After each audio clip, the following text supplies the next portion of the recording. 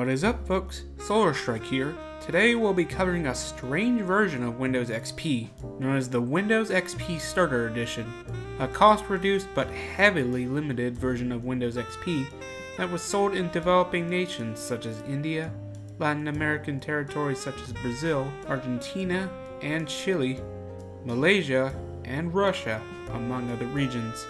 This version of XP was introduced in late 2004 by Microsoft to serve as an introduction for novice computer users in these regions, many of whom had no or very little experiences with computers before.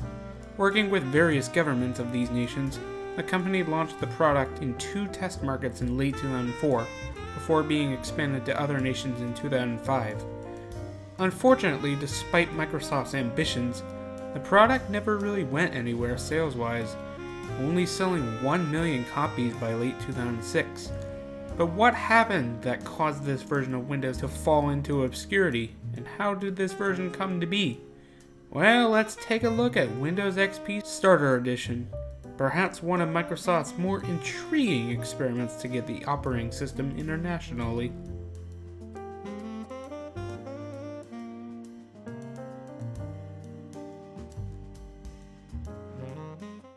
The origins of this edition date back to June 2003, when Microsoft began working with Thailand's IT ministry to provide 1 million lower cost PCs for Thai citizens. Once in the homes of these customers, representatives of the company realized that the interfaces that had become intuitive to the industrial world in the years prior seemed totally alien and complex to these new users, confusing them in the process. As a result of these struggles, they needed to work on a version that would seem more intuitive to these users without the complex features most of these users didn't necessarily need. And work began in late 2003 on this version. By mid 2004, the product was ready to be tested, and a pre beta version of the operating system was sent to about 600 Thai and Indian families, with them relying on extensive feedback from these families to improve and modify the OS wherever needed, through occasional check ins with these families. A sharp departure from Microsoft's usual beta testing strategy. After this period of testing, XP Starter Edition was first released in Thailand and India in late 2004 as part of a five country pilot program, before being expanded in early 2005 to three other nations thanks to promising initial results and continued to be expanded throughout the rest of the year, costing roughly 30 US dollars in these regions. Microsoft also announced a Longhorn version of the Starter Edition would be made for when that operating system released.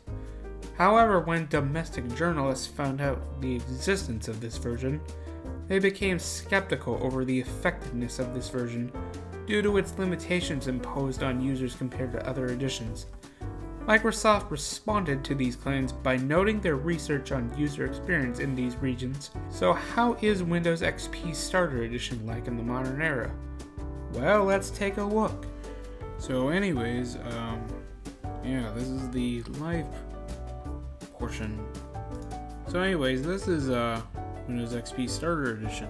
Um, anyways, um, as you can see from the um, as you can see, um, there's a background here um, mentioning the Windows Starter Edition. And as you can see from here, it's a weird classic version of the theme, and notice the icons are a lot bigger, like including the mouse cursor, which is pretty big, if I do say so myself. Um, anyways, apparently there there was supposed to be a limit of uh, the amount of resolution that um, um, you are only limited to 10 to 1224 by 768 but in VMware it's um, um, you don't really have that bug. We don't really have that here. Although I believe like that was this is because we're running this on a virtual machine so anyways, um, as you can see, this wallpaper here is um, basically basically here, and that's the only thing.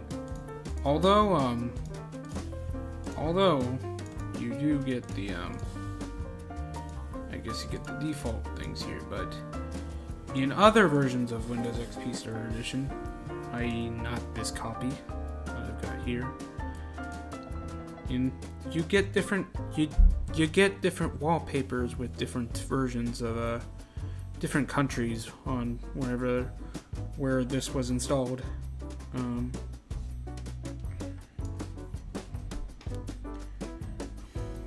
and such as like um, Malaysia, you get uh, Malaysia, you get you get one copy. Here, you got one wallpaper. India, you get another wallpaper, such and such. And yeah, let's change the language. Hmm. Let's see. I gotta go add that. Huh, it's not here. Um, let me let me see if I can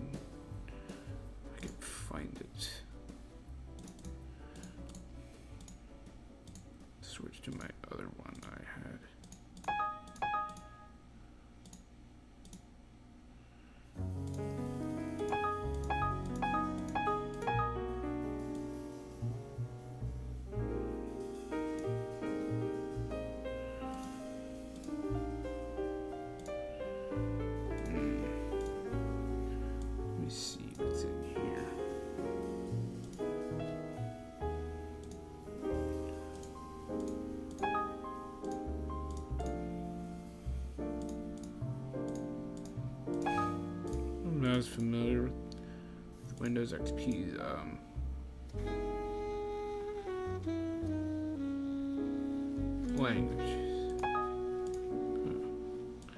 Yeah, like that was supposed to be a wizard here.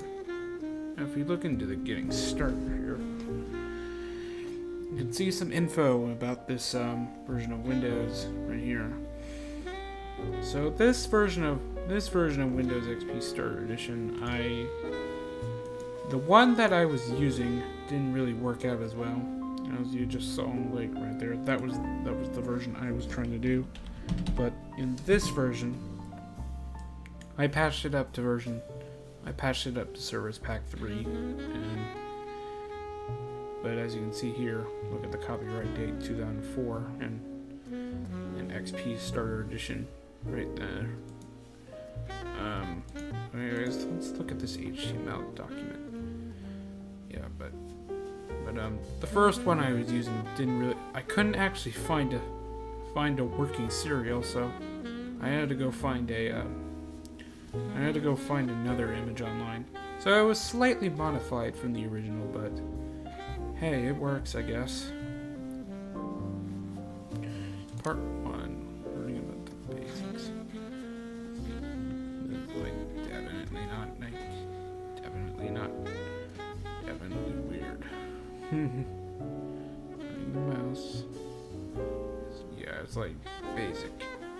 basic computer instincts, like as you can see. But yeah, let's try something here. Um, let's probably start. Let's talk about the most infamous part of uh, Windows XP Starter Edition. Oh shoot, there's no pinball. Why did they drop pinball? Oh well, I can at least listen to Beethoven. So, anyways, two. Why am I counting up? You'll figure it out. Anyways, what version of the player is here? Nine. So. Let's not make this so big. Wait, let's open up. Oh, it's not here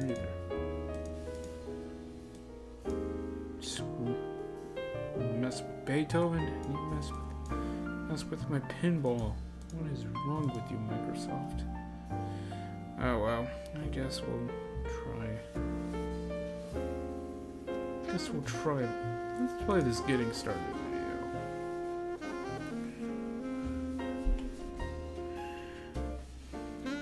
A version of Macromedia Flash Player 7. That's interesting.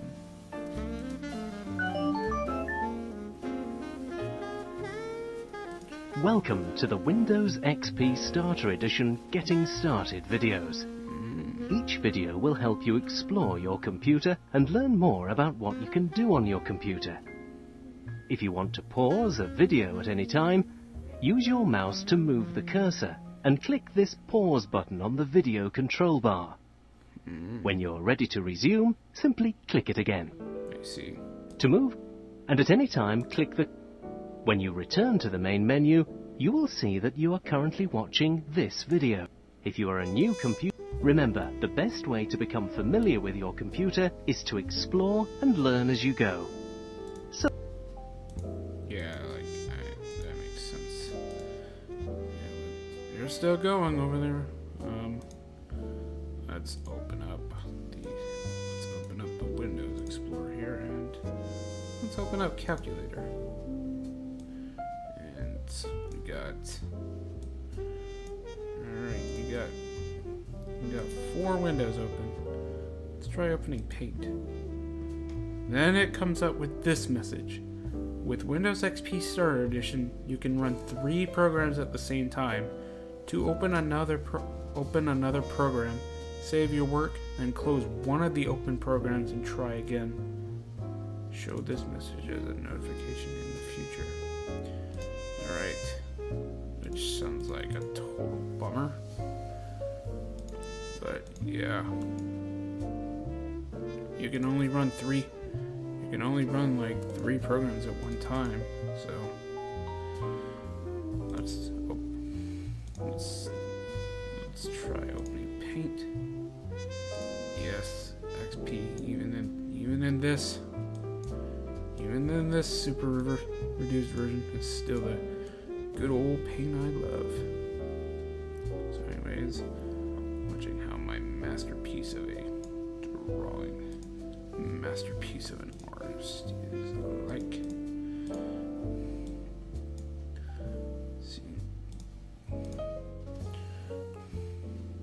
It's like it's like the sun or flames. Really bad versions the flames, but hey, it's a beautiful masterpiece, I guess. If I do say so myself, so. Let's open an, another window of paint. Let's try something else. Two. And then one more one more window of paint here.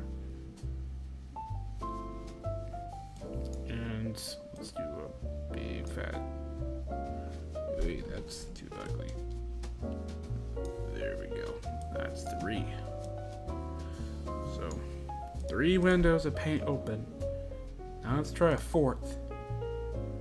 You can only have three windows open within each program. To open another window, save your work, then close one of your open windows. Oh. Even this version.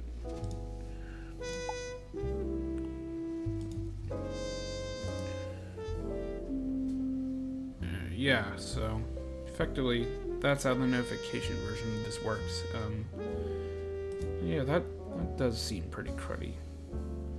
Um, anyways, let's just sure, sure. No. Yeah, but so yeah, only three programs and only three and only three new versions of uh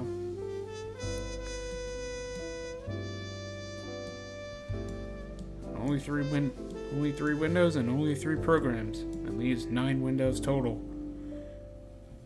Oh yeah, and you may have noticed I've only I only have a set I have I have this set at 119 gigs.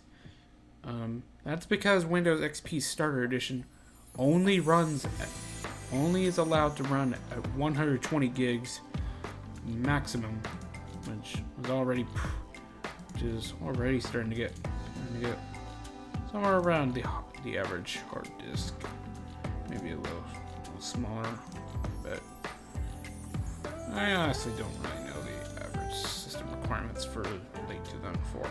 Oh, and this watermark here also exists as Windows XP Starter Edition. But you may have also noticed there is Windows Explorer. Hmm. Let's see if we can run Firefox. Can we? Can we run on Firefox? But can we? Can we run Firefox on this thing?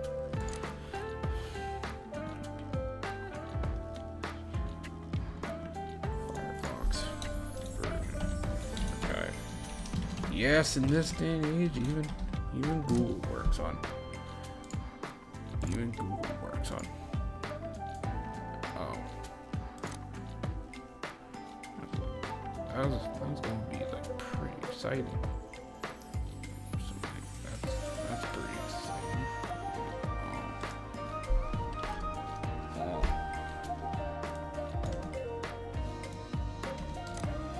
uh, can I still do it? Try. No base. Oop. Get out of the way. Let's try no S. Hey, I did it. Let's see if let's see if this works. So if I if I can actually do this, I'm like I'm like break the one thing I was going to be mentioning. This actually works, I'm gonna be like surprised. I've done this. I haven't installed IE6 in many years now. I,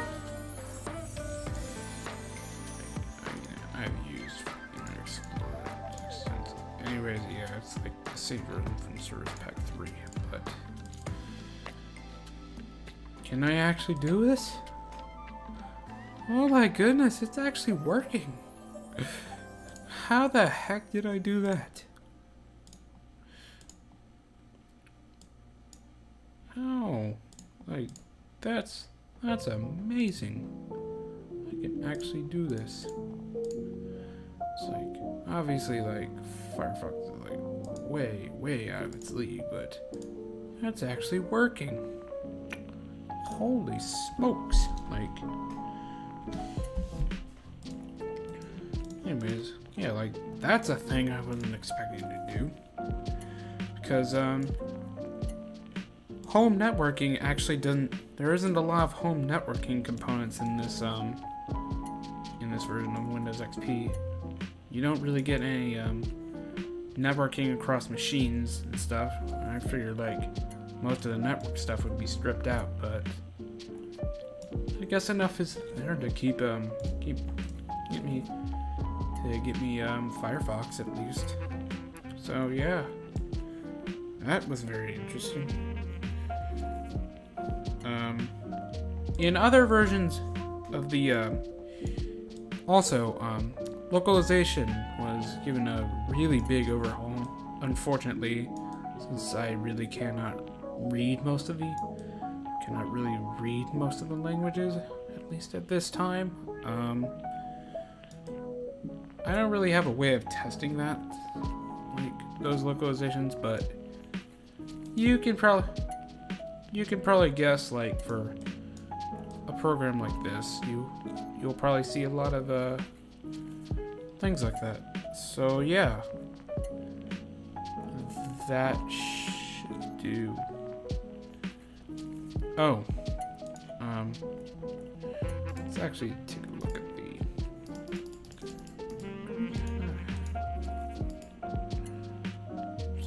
do we not have that there we are. Eh, you can see, you know, like AMD Ryzen 7 3700X. Oh yeah, 512 megs. You're only limited to that as well. Anymore, and I don't know what happens, but apparently that causes it to break. And it runs on my 3700X. Like that. Like, obviously this is a VM, but This is like way overkill for the Celerons and Durons this was made for. So yeah. So that was certainly a cutback version of Windows XP, but it made sense to the budding computer users of these nations, right? Unfortunately to Microsoft, the effectiveness of XP Starter Edition proved to be limited, only selling 1 million copies by October 2006. So what happened? Well, this came down to the black market. As in many of these regions, pirated copies of Windows XP Professional were more popular and widely available to more adept computer users of these regions, and costed significantly less, with only the cost of manufacturing of the CD, down to 70 US cents at this point, being factored into the cost compared to the 30 US dollars that XP Starter costed. Despite this, Microsoft considered the edition a successful experiment to help out users of these regions for getting into the Windows ecosystem, and as such, another starter edition of Windows would be made for Windows Vista, released early the next year, and the same would be done for Windows 7, with updated or modified new basics to fit the computing needs of 2007 and 2009, respectively. However, the version's obscurity today, no doubt caused by logistical issues, makes it an oddball in the long history of Windows and remains nothing more than a curious experiment in today's world.